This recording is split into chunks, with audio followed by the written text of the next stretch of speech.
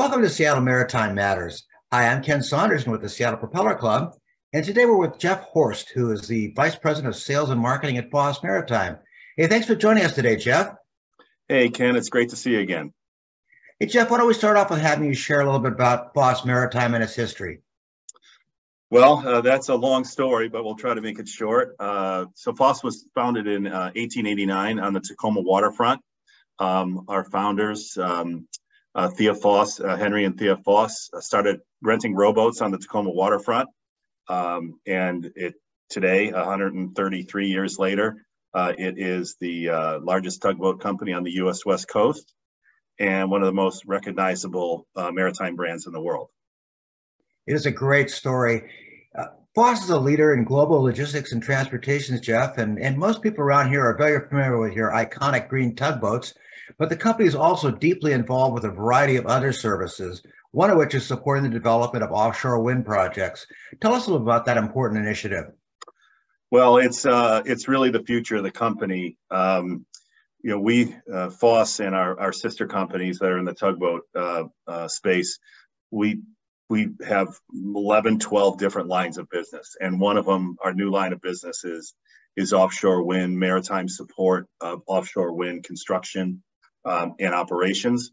So uh, the first us based funded approved moving forward project is the vineyard wind project in massachusetts. Um, foss has been working with the construction companies involved in that project for well over 10 years and uh, we're just going to be commencing that project, um, uh, going live and operating uh, tugs and barges in support of that project this summer.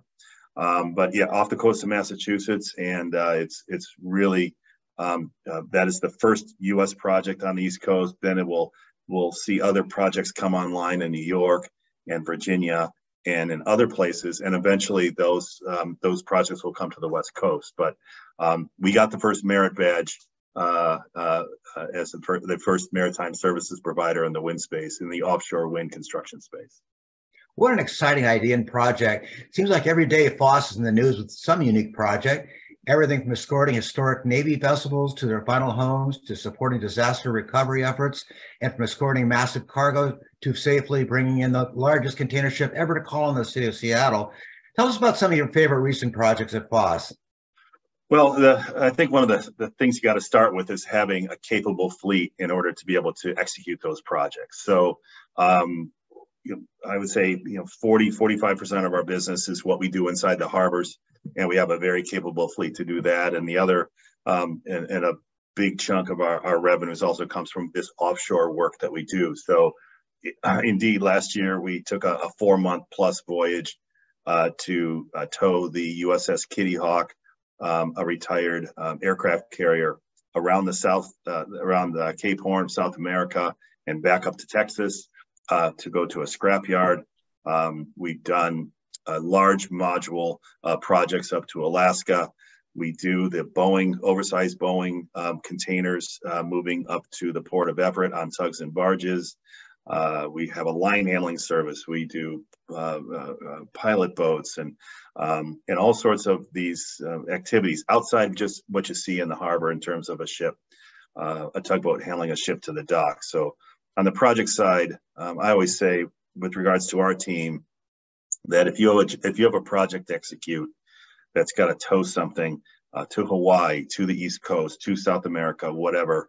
Um, if your job depends on a, if your job depends on it, you should call Foss Maritime. We've got a lot of experience in um, in executing in that space. And I know one of the big values that Foss also has is environmental stewardship. Why is that so important to Foss?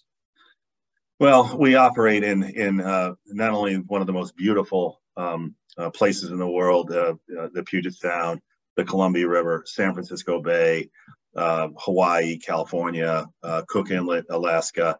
Uh, you know, we operate in some of not only the most beautiful places in the world, but really the most some of the most environmentally uh, sensitive places in the world. So we have to be good stewards of the environment. Uh, we have to um, employ the most uh, uh, technologically advanced um, equipment in order to reduce our emissions, reduce our fuel consumption, uh, reduce our particulate matter into the atmosphere, And so we take that very, very important. Jeff, you've been with Foss since 2007. Why is working in the industry such a great career opportunity for folks? Well, it's uh, I, I, first and foremost, anybody that asks me uh, what we do is interesting. Um, when I tell people I'm the vice president of sales for Foss Maritime, uh, they they they have always have a lot of questions. There's there's a romance to tugboats and and to uh, working on on the uh, um, on the seas and and working in tugboats and working along big equipment and doing large projects. There's a there's really a uh, it's really I would say cool is the best word I could uh, use to describe it. It is it's certainly not boring. It takes a tremendous amount of teamwork. Uh, they have uh, the, the you know we have a, a very diverse workforce that works the very diverse uh, work schedules. If you work on a boat, you can work on a day boat. You can work on a boat that is operates uh, two weeks on, two weeks off. You can work on a tugboat that works two months on, two months off.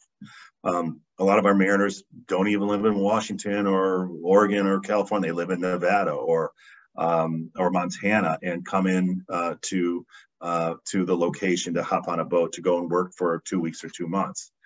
Um, so it's it's a really it's really interesting work. The pay is really good. The benefits are really good. Um, we have employees that work 30, 40 years with the company, uh, legacy employees that have their children, children and grandchildren uh, work for the company. So um, again, if you're going to do something and spend a lot of time, a daily, if I can use the word grind, on a job, you might as well make it be an interesting one.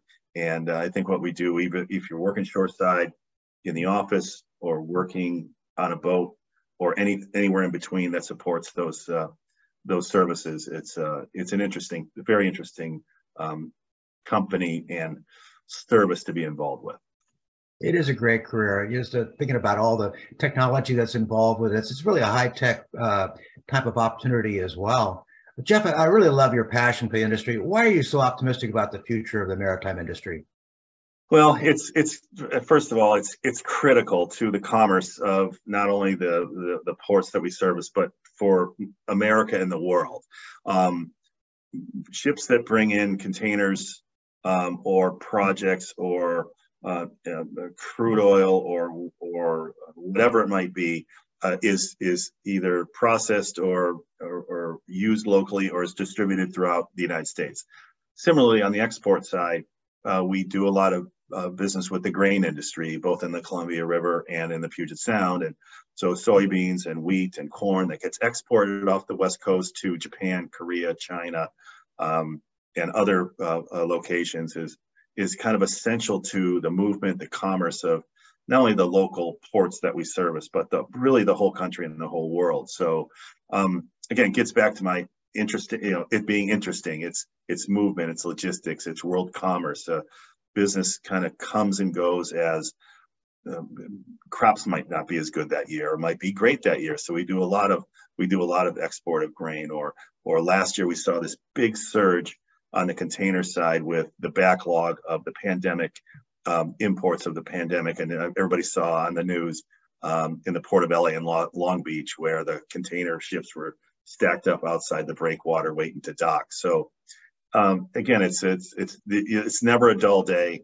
A lot of moving parts, a lot of teamwork, and uh, you know we're only as we're only as, as good as our, our weakest link, and and we don't have very many weak links because uh, things, the equipment continues to work, the crews continues to operate safe, the um, our customers continue to uh, employ our services, and the ships keep coming. So um, it's it, this industry's got a great future. Uh, I highly recommend it to anybody, whether uh, you're working finance in the office or working as a deckhand on a boat. Um, it, it's a it's a fascinating industry, and, and we're a great company to work.